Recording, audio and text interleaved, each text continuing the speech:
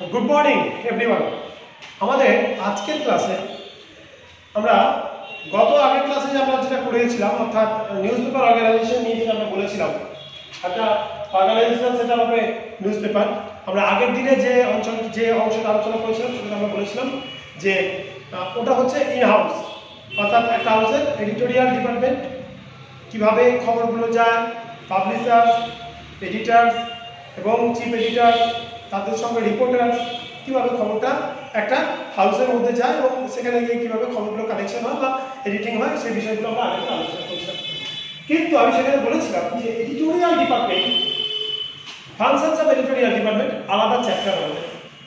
এবং আমি বলি যে আমাদের যে ওল্ড সিলেবাস সেখানে সেকেন্ড ইয়ার এবং নিউ সিলেবাসে সেমিস্টার টু সি থ্রি এখানে কিন্তু এডিটোরিয়াল ডিপার্টমেন্ট আমাদেরকে আলাদা চ্যাপ্টার করতে হবে। এবং এডিটোরিয়াল ডিপার্টমেন্টে অনেকগুলো পার্ট আছে। আমরা পরের ক্লাসে যখন যাব, তখন আমরা জানাব যে এডিটোরিয়াল ডিপার্টমেন্ট একটা নিউজ পেপার অর্গানাইজেশনের ব্যাকবোন বলা হয়। ব্যাকবোন মানে কি? ব্যাকবোন মানে শিরদাঁড়া অর্থাৎ একটা মানুষের যদি শিরদাঁড়া না থাকে, সে কি হবে? দাঁড়াতেই পারবে না। তেমনি একটা নিউজ পেপার অর্গানাইজেশনের মোস্ট ইম্পর্টেন্ট পার্ট হচ্ছে এডিটোরিয়াল ডিপার্টমেন্ট আমি আলোচনায় যাওয়ার আগে আমি আরেকবার আহ, একটু ওভারভিউ দিয়ে দিই যে একটা নিউজ পেপার অর্গানাইজেশনের এই সাতটা মোট ইম্পর্টেন্ট ডিপার্টমেন্ট আছে। আমি বলছি এই সাতটা মোট ইম্পর্টেন্ট ডিপার্টমেন্ট এছাড়াও আরও একাধিক ডিপার্টমেন্ট আছে। আমি এখানে লিখে নিই ট্রান্সপোর্ট আমি এখানে লিখে নিই তোমার পার্চেস পার্চেস কমিটি পার্চেস লিখে নিই এরকম প্রচুর ডিপার্টমেন্টের সঙ্গে আরও কাজ করে, কিন্তু এই সাতটা ডিপার্টমেন্ট ইম্পর্টেন্ট আমাদের পরীক্ষা প্রিপারেশনের জন্য এই সাতটা ডিপার্টমেন্টের আলোচনা করলেই হবে। প্রথমে আমি বলি এডিটোরিয়াল ডিপার্টমেন্ট আমি আগের ক্লাসে আলোচনা করছিলাম যে এডিটোরিয়াল ডিপার্টমেন্ট হচ্ছে যেখানে খবরটা রান্না হয়। রান্না হয় মানে কি? রিপোর্টাররা খবর তোলে, তুলে সেটা হাউসে পাঠায়। হাউসে ওটাকে আবার নতুন করে তৈরি করা হয়। যদি টিভি হয়, তাহলে সেখানে ভয়েস ওভার যাবে ছবিগুলোকে এডিট করা হবে, তার সঙ্গে ভয়েস ওভার অ্যাঙ্কের ভয়েস ওভার যাবে কোনো জায়গায় গ্রাফিক্স হলে গ্রাফিক্স যাবে একটু ব্যাকগ্রাউন্ডের মিউজিক দিতে মিউজিক যাবে অর্থাৎ এডিটোরিয়াল ডিপার্টমেন্টে কিন্তু পুরো কাজটা এছাড়াও কোন খবর যাবে? কোন খবর যাবে না? কোন খবর আজ গুরুত্ব দেবো? কোন খবরে গুরুত্ব দেবো না? ইত্যাদি সমস্ত কাজটা অর্থাৎ একটা খবরের কাগজের যেটা আউটপুট সেইটা সমস্তটা নির্ভর করে এডিটোরিয়াল ডিপার্টমেন্টের উপর। হিউজ কাজ। এডিটিং থেকে শুরু করে খবরটা পাবলিশ করা পর্যন্ত হিউজ কাজ। এবং এই ডিপার্টমেন্টটাই হচ্ছে একটা ব্যাকবোন নিউজ পেপারে এরপরে হচ্ছে অ্যাডভার্টাইজিং ডিপার্টমেন্ট সংবাদপত্রে বা সংবাদ মাধ্যমে অ্যাডভার্টাইজিং ডিপার্টমেন্টটাকে বলা হয় মা লক্ষ্মী তার কারণ, একটা সংবাদ মাধ্যমে বা একটা সংবাদপত্রে টিভি বা রেডিও যাই হোক, তার ইনকাম কিন্তু এই বিজ্ঞাপন থেকে। কারণ আমরা দেখেছি, আমরা যখন পেজ সেট আপ করব newspaper page set up করব, তখন আমরা দেখব কত ধরনের বিজ্ঞাপন আছে।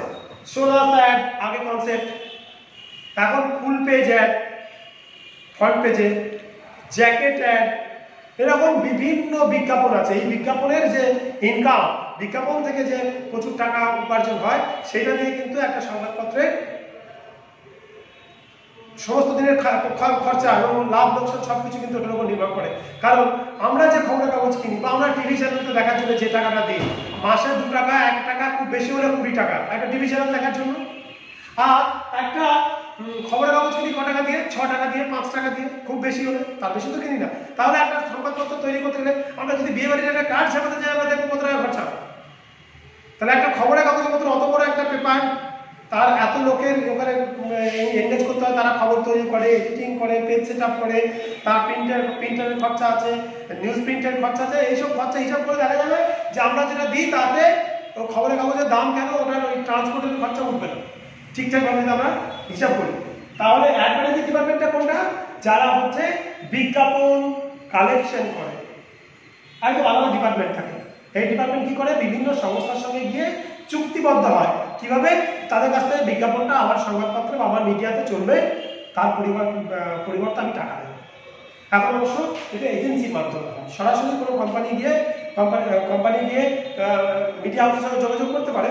কিন্তু অ্যাডভার্টাইজিং ডিপার্টমেন্ট আমি যখন আহ, আরও অ্যাডভার্টাইজিং নিয়ে করব তখন দেখব অ্যাডভার্টাইজিং এর জন্য কিন্তু আলাদা এজেন্সি কাজ করে। তাহলে হচ্ছে অ্যাডভার্টাইজিং এজেন্সি এরপর হচ্ছে সার্কুলেশন সার্কুলেশন কি? সার্কুলেশন হচ্ছে যে আমার কাগজটা কীভাবে ধরো শিলিগুড়িতে খবরটা তৈরি হয়েছে খবরের কাগজটা প্রিন্ট হচ্ছে তাহলে সেই কাগজটা সকালবেলা তোমার চায়ের টেবিলে পৌঁছবে কি করে? এই যে সিস্টেমটা তৈরি করা মানে ওখানে কখন খবরের কাগজটা তৈরি হবে, তারপরে কি গাড়িতে করে আসবে, কোন ট্রান্সপোর্ট এখানে কোন হকার সেই কাগজটা তোমার বাড়িতে পৌঁছে দেবে, এই টোটাল বিষয়টা দেখা হচ্ছে সার্কুলেশন ডিপার্টমেন্ট আর কি, এরা কিন্তু হিসাব রাখে। কত কাগজ বিক্রি হচ্ছে, কত কাগজ রিটার্ন এলো, কোন অঞ্চলে আমাদের কাগজ বেশি যাচ্ছে, কোন ধরনের লোক আমাদের কাছে বেশি খবরের কাগজ নিচ্ছে, এই টোটালটা এই সার্কুলেশন ডিপার্টমেন্ট নজরে রাখে। এরপর হচ্ছে প্রিন্টিং ডিপার্টমেন্ট আবার হচ্ছে এটাও কিন্তু একটা ইম্পর্টেন্ট ডিপার্টমেন্ট প্রিন্টিং ডিপার্টমেন্ট মানে কি? যেখানে খবরের কাগজটা ছাপা সারাদিনের এই যে এতগুলো লোকের পরিশ্রম, সাংবাদিকদের পরিশ্রম এডিটারদের পরিশ্রম সাব এডিটারদের পরিশ্রম চিফ এডিটার এডিটারদের পরিশ্রম, একটা পেজ সেট হয়ে গেল প্রুফ রিডিং হয়ে গেল সব কিছু হয়ে গেল। ফাইনাল কি করবে? প্রিন্টার তো প্রিন্টিং যারা আছে অর্থাৎ যেখানে প্রিন্টিং ডিপার্টমেন্ট যেখানে গিয়ে খবরের কাগজটা প্রিন্ট হবে, তার ডিপার্টমেন্টের কাজ।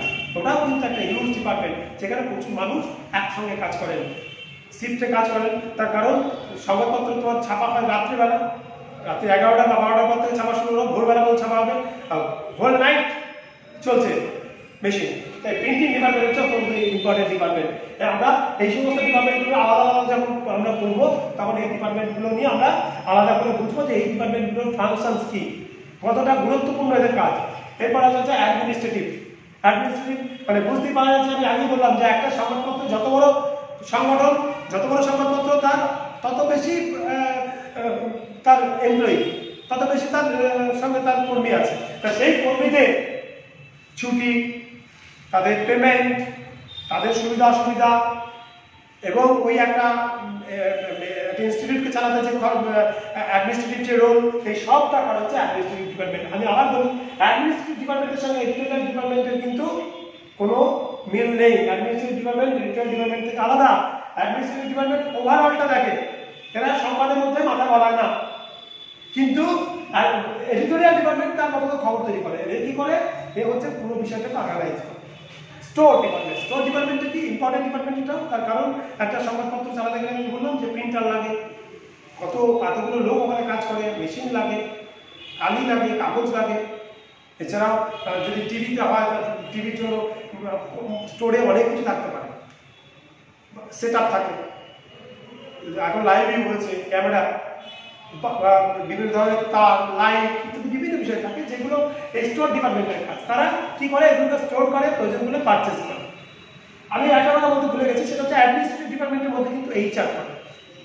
এইচআরকে হিউম্যান রিসোর্স কি করে না এইচআর এইচআর ডিপার্টমেন্টের কাজকে এইচআর ডিপার্টমেন্টের কাজ হচ্ছে তাদের টোটাল ম্যান পাওয়ার এই ম্যান পাওয়ারটাকে ঠিকঠাকভাবে কাজে এ- তাকে ইনভলভ করা। এইটা হচ্ছে অ্যাডমিনিস্ট্রেটিভ ডিপার্টমেন্টের এইচআর এর কাজ। এইচআর হিউম্যান রিসোর্স এরপর হচ্ছে আইটি ডিপার্টমেন্ট। আইটি ডিপার্টমেন্ট কিন্তু বর্তমানে যতগুলো মিডিয়া হাউস চলছে, আইটি ডিপার্টমেন্ট কিন্তু সেখানে খুব গুরুত্বপূর্ণ। তার কারণ দেখো, প্রত্যেকটা হাউসের এখন নিজের নিজের একটা করে ওয়েব পেজ হয়েছে। বা ওয়েব তার একটা পেজ আছে তাহলে সেই পেজে তাকে খবরটা তুলতে হবে। বা তুমি ভাবো যে এখন ডিজিটালাইজ সব কিছু আনন্দবাজারের নিজস্ব কাগজ সকালবেলা বেরোয়, কিন্তু তার একটা ওয়েব পেজও আছে, আইটি কাজ আনন্দ চব্বিশ ঘণ্টা নিজস্ব একটা চ্যানেল চলছে, কিন্তু তার একটা ওয়েব পেজও আছে। তার সেখানে আইটি কাজ আইটি ডিপার্টমেন্ট একটা খবরকে, একটা খবরের চ্যানেলকে বা খবরের কাগজকে জনপ্রিয় করে তুলতে বা তার খবরকে আরও বেশি বেশি মানুষের কাছে পৌঁছে দিতে আইটি ডিপার্টমেন্ট কাজ করে। এই প্রত্যেকটা ডিপার্টমেন্টের ইন্ডিভিজুয়াল কাজ আছে। এই প্রত্যেকটা ডিপার্টমেন্টের সমান কাজ করা এবং সমান অংশগ্রহণের মাধ্যমেই কিন্তু একটা নিউজ পেপার সাফল্য লাভ করে। আমরা পরের ক্লাসে এই এডিটোরিয়াল ডিপার্টমেন্ট এবং অন্যান্য যে ডিপার্টমেন্টগুলো আছে তা বিস্তারিত যাব